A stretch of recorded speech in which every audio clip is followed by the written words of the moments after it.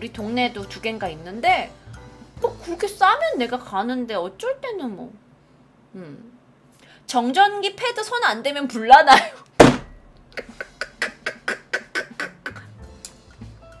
모르겠어요. 불이 나는지 제가 안 해봤어요. 아, 여러분들 혹시 불안해가지고 꼭 정전기 패드에다 손 문대고 하시는구나. 아, 저는 정전기 패드까지는 생각을 안 해봤네요. 저는 그 솔직히 그거 한 번도 왜 쓰는지 잘 몰랐어요. 불날 수도 있어요? 근데, 근데 왜 미국 사람 불 잘 안 나던데? 요즘 기름값이 저렴한 셀프 주유소 많이들 이용하시죠? 그런데 정전기가 잦아지는 겨울철엔 이렇게 직접 기름을 넣을 때 주의하셔야 합니다. 주유 왜요? 중에는 불 붙기 쉬운 유증기가 안개처럼 새 아. 나오는데 여기에 정전기 불꽃이 튀어서 폭발할 위험이 있기 때문입니다. 아. 정신의 기자입니다. 그렇구나. 미국의 셀프 주유소. 한 여성이 스웨터를 만지다가 주유기에 손을 댄 순간 시뻘건 불길이 치솟습니다. 기름을 넣던 승용차에 다가서자 갑자기 화염 기둥이 솟구쳐 오릅니다. 대박. 원인은 정전기. 건조한 겨울철은 옷의 마찰로 정전기 전자가 몸에 쌓이기 쉽습니다. 오. 이 전자가 금속체를 만지는 순간 빠져나가면서 아. 네. 스파크를 일으키고 내가 캘리포니아라서 난 여름 동네에서만 살았잖아. 그러니까 난 이걸 못 경험했나 봐. 우린 항상 여름이거든. 주유 중 새어나온 유증기에 옮겨부터 화재가 발생하는 겁니다. 지난 4월 청주에선 50대 남성이 주유소 정전기 화재로 팔과 다리에 2도 화상을 입었습니다. 음. 승하차를 반복하는 경우에 발생하는 정전기가 휘발유 유증기에 어머, 착화돼서. 발생하게 됩니다. 화재 사고를 막기 위해 셀프 주유소에는 이처럼 정전기 방지 패드가 설치돼 있지만 사용하는 사람은 찾아볼 수 없습니다. 죄송해요. 저도 안 사용했어요. 손을 이렇게 문지는 거야? 이렇게 손을? 이렇게? 문대? 글쎄 보기는 봐도 그게 뭐 하는 건지 모르니까 우리 나도 정전기가. 발생을 한다는 자체를 저는 별로 이렇게 신경을 안 쓰고 나도. 주유를 하다 보니까 사용 방법은 주유하기 전에 먼저 패드에 손을 대서 몸의 정전기를 모두 빼는 겁니다. 저렇게 하면 다 빠지는 거예요? 전국의 셀프 주유소는 올 9월 1,300여 개로 2011년보다 2배 이상 증가했습니다. 맞아요. 요즘 진짜 많이 늘었죠. 여러분 정전기 패드 꼭 이용하세요. 아마 저기에서 아까 마이너스 극이 우리 몸에 많다 그랬잖아. 근데 저기서 아마 뭔가 플러스 극이 강한 플러스 극이 나오면 우리 몸에 있는 마이너스 극을 쫙 빼갈 수도 있지. 또 하나 알아가네요. 그래 나도 알아갔어. 나도 진짜 몰랐어. 경유는 해당 없어요.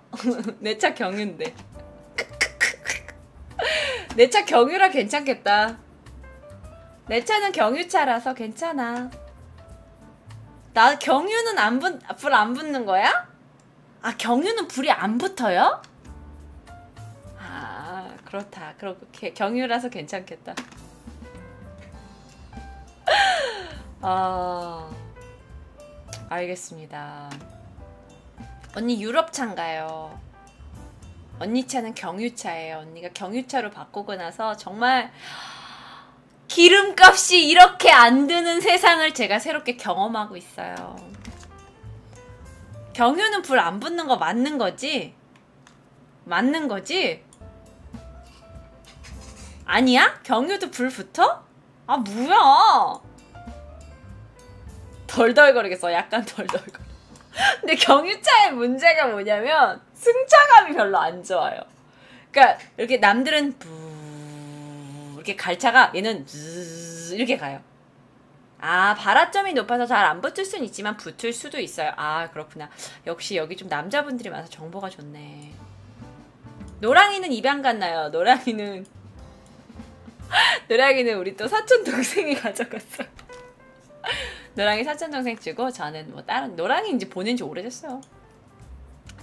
자, 알겠습니다. 자, 그 다음에 이제 좀 마지막 이야기 해볼게요. 자, 미국에서는 배엄님 별풍선 귀요미 선물 감사합니다. 고맙습니다. 미국에서는요, 이런 곳이 있어요. 미국에서 주차하기가 어려울까요? 저는 캘리포니아에 살았잖아요. 저는요, 정말 평행 주차를 많이 해본 적이 별로 없어요. 미국에 살다 보면 평행 주차에 무지하게 약해져요. 왜? 아 주차 공간이 너무 넓어. 굳이 내가 차를 뒤로 끼워 넣었다가 뺐다가 넣었다가 뺐다가 해서 짧은 공간에 넣을 필요가 없어요. 아이고 왜 그러냐면 공간이 일단 넓고 그냥 갔다가 차를 그냥 갖다 넣어서 봐서 박아서 넣으면 돼. 슈퍼에서도 다 자도 엄청 많고 그리고 한국에서는 너무 좁으니까 다 뒤로 이렇게 넣잖아요. 근데 하- 미국은 안 그래요. 뒤로 굳이 넣을 필요가 없어요. 너무 주차 공간이 넓어가지고 땅이 넓다 보니까 그- 특히 이제 캘리포니아에서는 더 그랬어요. 그런데 그 안에서도 법이 있어요. 이렇게 빨간색, 그러니까 이 도로 요거에 요 요 요 돌에 no parking fire lane이라고 써 있어요. fire lane이라는 게 뭘까요? fire lane이라는 건 뭐냐면은 이렇게 해석하시면 돼요. 여기는 소방 관련 소방 라인이에요. 소방 라인, 소방 도로, 그죠? 소방 도로라고 이상하죠. 이해하시면 돼요. 소방도로인 거야. 소방차. 그래서 게다가 여기는 소방차가 여기 된다는 얘기보다는 여기서 물이 나온단 말이에요. 만약 이 지역에서 불이 나면 여기다 호스를 연결해가지고 땅에서 물을 끌어다가 불을 꺼야 되는 그런 위급 상황. 어쩌면 10년, 20년 동안 한 번도 사용되지 않을 수도 있지만 위급 시에 여기에 차가 있으면 안 돼요. 그래서 여기선 소방과 관련된 전용 일을 해야 되기 때문에 절대 여기다 채를 댄 사람이 없어요. 근데 솔직히 말해서 엄청 만약에 강남대로에 우리가 자, 우리가 주차를 할 수 있다고 생각해요. 그러면 거기 얼마나 많은 사람들이 차를 대고 싶겠어요. 여기 여기 이렇게 뜬금없이 비어 있으면 한국 사람 거기다 쏙 넣어요. 횡단보도 앞에다 쏙 넣는데, 근데 미국 사람은 그렇지 않아요. 진짜 저만 그래요. 저만. 내가 문화를 몰라가지고 내가 무식한 한국 여자가 가가지고 어 저기 자리 비었다 와 넣었어요. 티켓도 먹었죠. 저 진짜 무식했어요. 진짜 저 무식해가지고 진짜 저 벌금 많이 냈어요. 전 약간 그리고 무대뽀 경향도 있거든요. 아니 자리가 비어 있으니까 넣는 거지. 그래가지고 넣었는데 알고 보니까 여기가 이제 소방 관련이어가지고 절대 넣으면 안 된다라고 그러더라고요. 나 진짜 딱지 많이 떴어요. 그래서 제가 한 여기에서 한 두 번째인가 그리고요 이게 또 이런 것도 있어요. 어떤 건 일반 도로인데 한 네 바퀴 앞 바퀴만 빨간 선에 다 있어요. 왜? 우리 아파트가 되게 이제 부자 동네가 아니었으니까 우리 아파트가 저녁이 되면 주차 공간이 없단 말이야. 근데 난 새벽에 일 끝나고 들어왔어. 뭐한 열, 열두, 12시쯤 들어왔어. 식당 일 끝나고. 그러면 자리가 없어. 어, 근데 자리가 하나 있는데 내 차에 3분의 2밖에 안 들어가. 그럼 3분의 1은 앞에 바퀴가 빨간색 레인에 걸려. 괜찮을 줄 알았지. 난 12시고 몸이 피곤하니까 일단 집에 들어가고 싶잖아요. 그래서 집에 갔어요. 집에 갔는데 암 다음날 아침에 보니까 내 앞바퀴가 그 빨간색이 있었다고 또 딱지를 먹었어. 나 그랬다니까. 아 절충이란 없어 이놈의 나라가. 그리고 또 언제 딱지 먹는 줄 알아요? 진짜 맨날 나는 어 오늘 자리 발견했어 대박 자리에다 딱 넣었어. 근데 거기가 언덕이야. 아침에 보니까 또 딱지를 먹었어. 내가 진짜 나는 왜 딱지를 자꾸 먹는 거냐? 언덕에 차를 댈 때는 바퀴를 돌려야 돼요. 왜? 혹시라도 바퀴가 일자로 하면 바퀴가 뒤로 바로 내려올 수도 있어.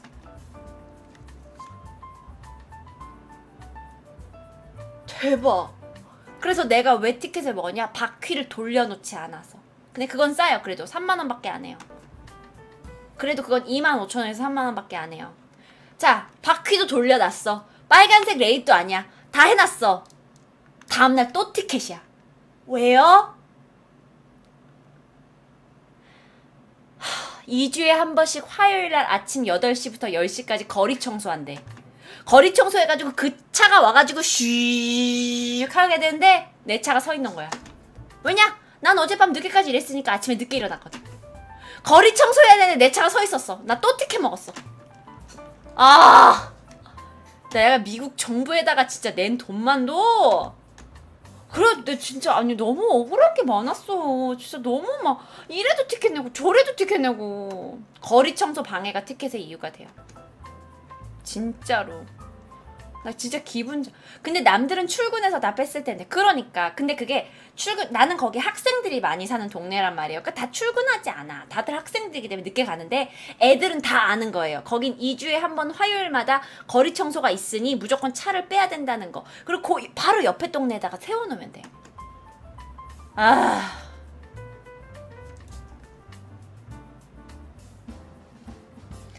자, 그랬습니다. 하여튼 그런 게 있었어요. 자, 그래서 여기다 절대 차를 대시면 안 돼요. 그런데 이런 게 또 있어요.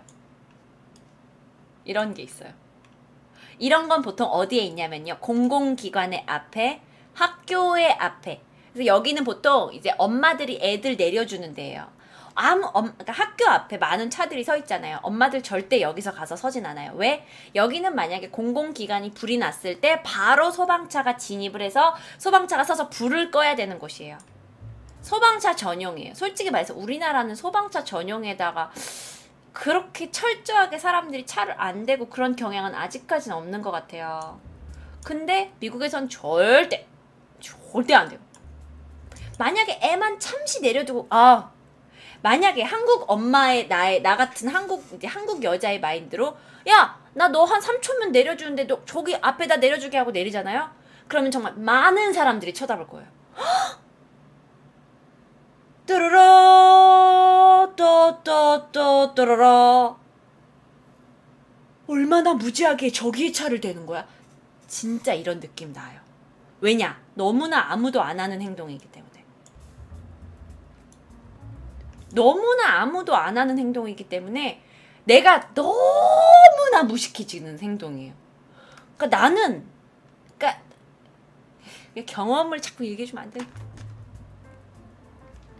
그런데 만약에 이제 만약 이게 고등학교거나 대학교잖아요. 그러면은 학교 내에 경찰이 있단 말이에요. 학교 내에 경찰한테 걸리면 또 바로 딱지예요. 그러니까 딱지도 무서워서 안 하는 거야. 미국은 학교 내에 경찰이 있어요. police가. 어, 대학 내에선 police는 당연히 있고요. 고- 어떤 고등학교 내에는 police가 있어요. 그렇다니까요.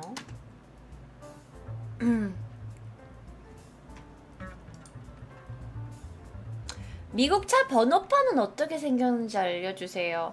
미국 차 번호판 내가 안 가져왔는데 잠깐만 보여줄게. 근데 이거 미국 차 번호판 되게 재밌는 게요.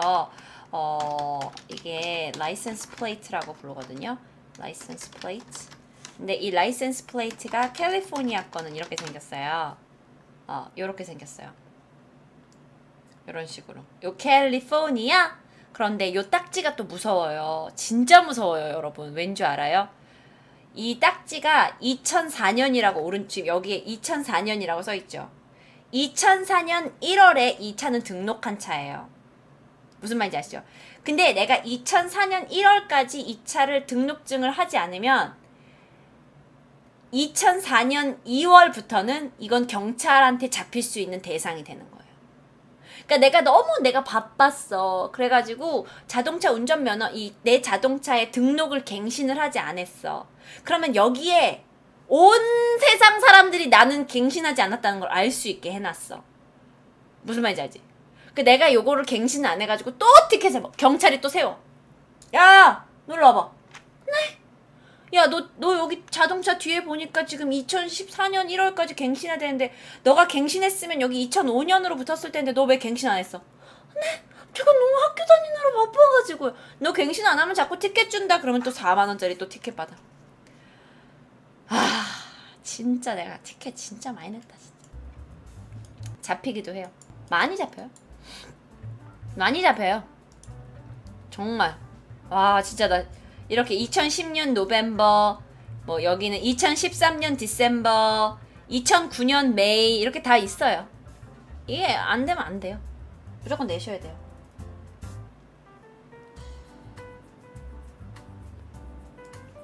그러면 미국은 무적 차량 없나요? 근데 또 이런 거 있어요? 아, 이런 과자들면 안 되는데. 차량 등록을 안 했어요. 근데 걸리고 싶진 않아요. 그러면 이렇게 쓱 보다가 그 스티커만 이렇게 살짝 띄어가지고. 물론 그러시면 안 돼요. 근데 그런 일이 많아요. 그래서 누가 제 스티커를 훔쳐간 적도 있어요. 스티커만 훔쳐가요. 스티커만. 왜? 그냥 스티커 훔쳐가가지고 그 스티커를 그 2005년, 2004년에서 5년에서 또 노란색 다시 붙이는 거예요. 그럼, 그러면 어떻게 되냐?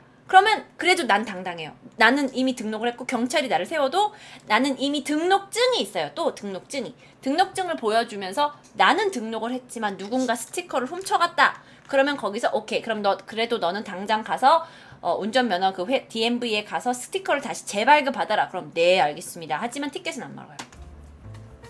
서류가 엄청 많아. 짜증났어 미국은 되게.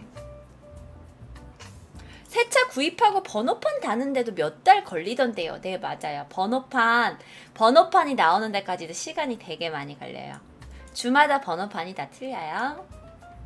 왜냐면 미국은 주, 주국가, 주, 연방국가잖아요. 그래서 주가 모여서 만든 국가이기 때문에 주마다 약간의 법이 틀려요.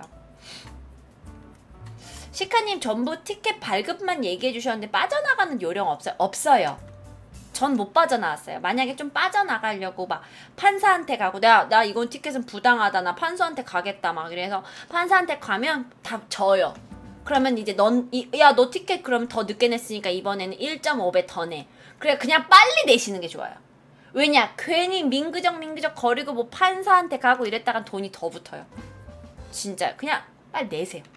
이제 경험에 연체료까지 더해지니까. 요령 피우지 말고 빨리 내시는 게 좋겠습니다. 자, 그러면 이거보다 더 무서운 게 있어요.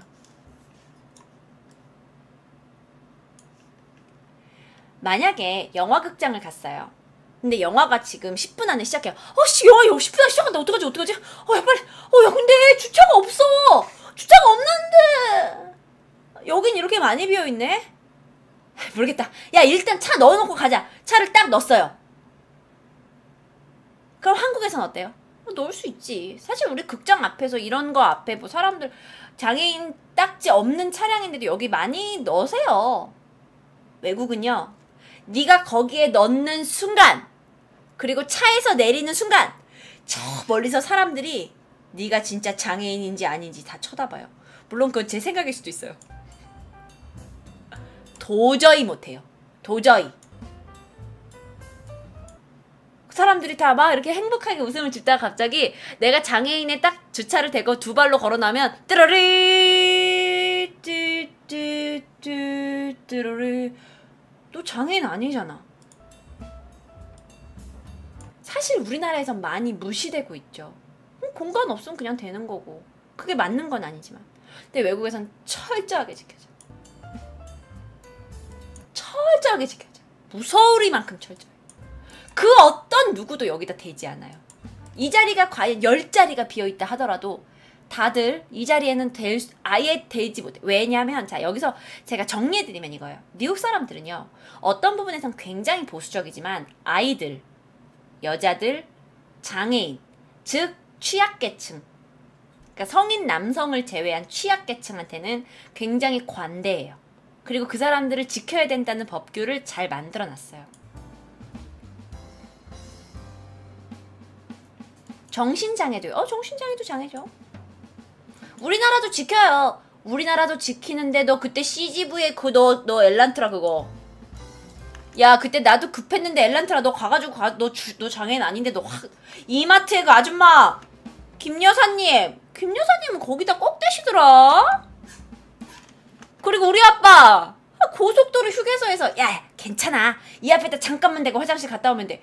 아빠 여기 있는 사람들도 자 잠깐만 대고 화장실 다녀오는 사람이고 아빠 좀 그러지 마. 아빠 좀나 이렇게 부... 나 여기 나 진짜 내리는 게 너무 부끄러워. 여기 아빠가 거. 아빠 나 부끄럽다고. 아.